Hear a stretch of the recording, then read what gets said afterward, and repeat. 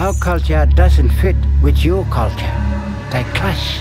SBS On Demand celebrates 10 years of antenna with a selection of poignant documentaries. I cut. C'est que j'étais dans le magazine et le plus d'images avant que tout foute le camp.